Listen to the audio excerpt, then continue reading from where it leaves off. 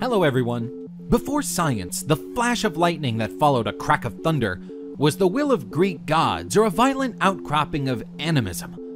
Now we know a bit more about lightning. We know that it can be hotter than the surface of our sun. We know that it can absolutely strike in the same place twice. And we know that when it hits sand, it can create wonderful art. And we know people can mistake that art for a stick in the sand. A single bolt of lightning can deliver 5 gigajoules of energy, enough to power an average US household for more than a month. When such a powerful lightning bolt strikes a sandy area like a beach or a dune, the sand particles can melt and fuse together in less than a second. Sand melts at about 1800 degrees Celsius, but the temperature in a bolt of lightning can reach 30,000 degrees, or more than five times the temperature on the surface of the sun. If conditions are right, the fused sand forms long hollow tubes called fulgurite. The term comes from the Latin word fulgur, which means lightning.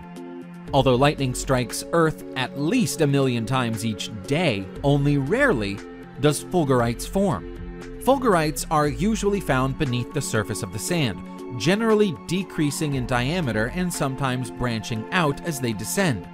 Their shape reflects the path the lightning bolt took as it dispersed into the ground. Because of this, fulgurites are sometimes called fossilized lightning.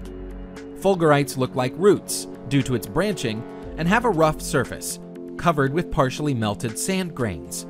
But the inner surfaces are usually smooth and glassy due to the rapid cooling and solidification of the sand. The size and length of a fulgurite depends on the strength of the lightning strike and the thickness of the sand bed. Many sand fulgurites average an inch or two in diameter and can be up to 30 inches long, but fulgurites as long as 16 feet have been found. Some fulgurites can penetrate deep into the soil, sometimes occurring as far as 49 feet below the surface that was struck.